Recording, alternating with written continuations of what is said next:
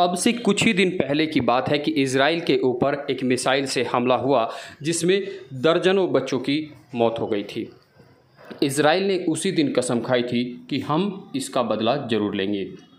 और आज इसराइल ने वो करके दिखा दिया है। इसराइल की मौसाद और वहाँ की सेना ने मिलकर अपने दो सबसे बड़े दुश्मन, अपने दो सबसे बड़े आतंकी जो माने जाते थे उनके लिए, उन दोनों को उनके घर में घुसकर, उनकी राजधानी में घुसकर, जहाँ वो सबसे सुरक्षित माने जाते थे, वहीं पर तबाह किया है। पूरी की पूरी बिल्डिंग को बम से उड़ा दिया गया है और ऐसे में इनके साथ में जो लोग थे, जो लोग इनके संरक्षक थे जो इनकी सिक्योरिटी करते थे या इनके जैसे और आतंकी थे, उन सभी को वहीं के वहीं ख़त्म कर दिया गया है। ऐसा करके इसराइल ने अपना बदला तो पूरा कर लिया है, लेकिन बात यहीं पर ख़त्म नहीं हो जाती। दरअसल एक आतंकी यहाँ से हिजबुल्ला से था हिजबुल्ला से था तो दूसरा वहीं हमास से।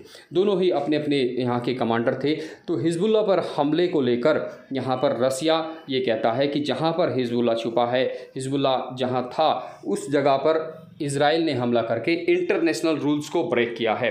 अगर इसराइल ने एक कदम और ऐसे ही उठाया तो हम आमने सामने होंगे।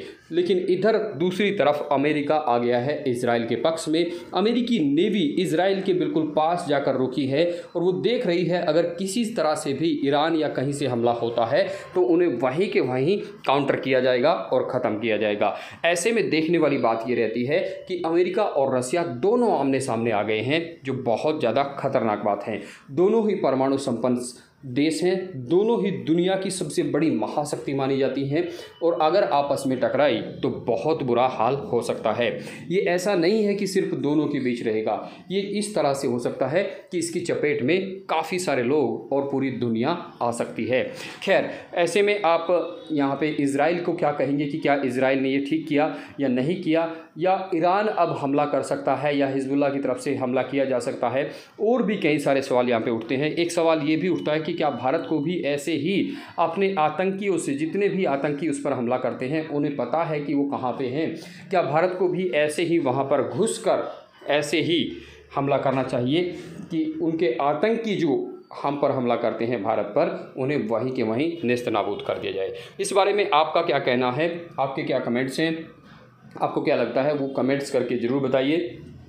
कमेंट्स बॉक्स में जय हिंद, जय भारत ज़रूर लिखिएगा। नमस्कार, धन्यवाद दोस्तों।